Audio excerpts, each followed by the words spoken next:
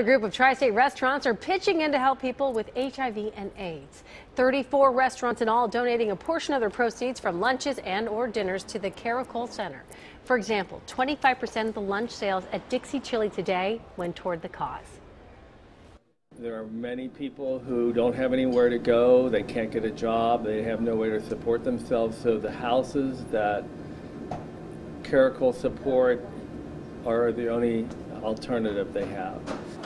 Several of the restaurants are still helping out tonight for dinner. Find a complete list of participating restaurants online right now at WCPO.com. It's one of the most